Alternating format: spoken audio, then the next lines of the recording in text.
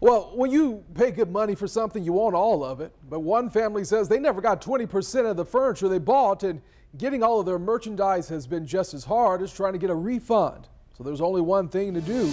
Tell Ken Amaro about it. It's the season to return gifts, and while COVID 19 has had its impact, it's probably much easier to return a package this small than it is to return one that's really, really big. While some were shopping for diamond rings and electronics that are hard to find, Wendy Ward and her roommate were looking for a new sofa. We ordered a couch online. November 24th, they found it on retail giant Walmart.com.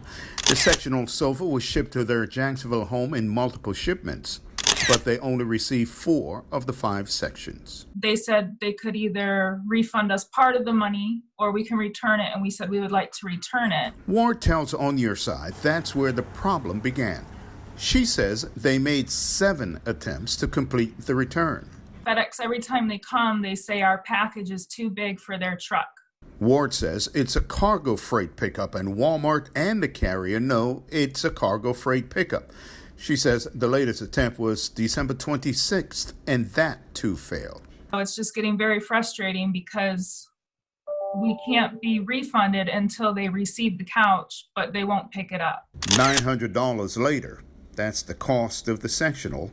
And after several attempts to return the piece, they're now beyond frustration. And I don't know what to do. I don't want to lose our money on it but we need it picked up. This clearly appears to be a communication breakdown between the retailer and the carrier. On Your Side reached out to Walmart, which promised to get this issue resolved. But this is a good reminder that if you're planning to return any online purchases, now's the time to check the store's policy. Ken Amaro, First Coast News, on your side. I can understand why she's frustrated about that. Well, if you've got problems, we're here to help. Just send an email to on your side at firstcoastnews.com.